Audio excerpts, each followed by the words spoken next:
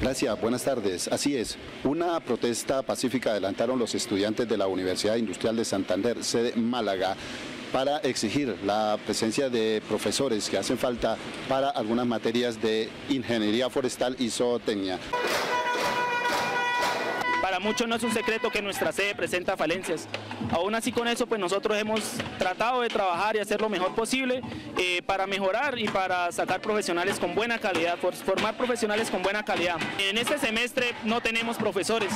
Eh, se habían prometido unos profesores de planta, pero no hay profesores hasta el momento. Los profesores que faltan para ingeniería forestal son para la materia de suelos, climatología, hidrología, silvicultura, aprovechamiento forestal integral, además de algunas materias de zootecnia.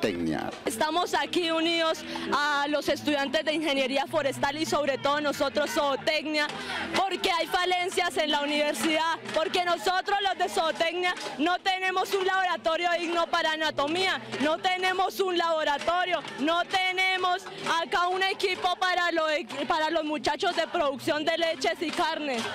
El pasado mes de marzo la Universidad Industrial de Santander, con sede en Málaga, cumplió 20 años de existencia acá en la provincia de García Rovira. Según los estudiantes, no ha evolucionado en nada. Se continúa trabajando con los mismos equipos y la misma tecnología de ese tiempo. Esto es todo desde Málaga. Con la cámara de José Guadí Medina les informó Pedro Manrique. Continúen ustedes con más Oriente Noticias. Muy buenas tardes.